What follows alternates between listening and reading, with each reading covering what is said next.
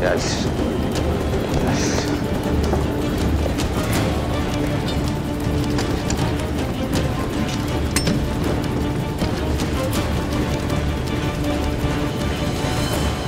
Ne yaptığını sanıyorsun oğlum sen? He? Ne işin var burada? İstanbul'da yapamazdım Sait. Bacağın ne durumda? İyi. İyi. İyi. Ne yapacaksın bu bacakla? He? Düşmanı bu bacakla mı kovalayacaksın? Sait, beni dinle. Hay Allah'ım ya. Kendini düşünmüyorsun, babamı da mı düşünmedin? Şimdi seni göremeyince inmeyince adamın yüreğine. Hüsrev baba beni anlar. Ehe. Pozantıya vardığımızda seni geri göndereceğim. O zamana kadar saklan.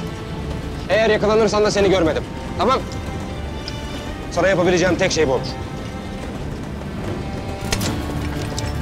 Mehmet. Beni vur. Bana öyle bakma. Beni vur. Eğer beni geri gönderirsen ben zaten yaşayamam. Oğlum.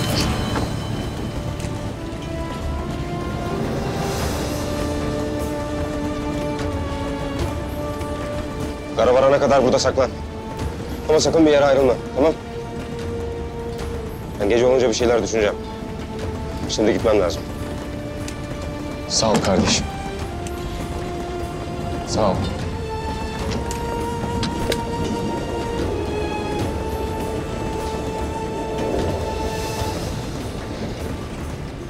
O çuval parçasıyla olmaz o. Kullan sen.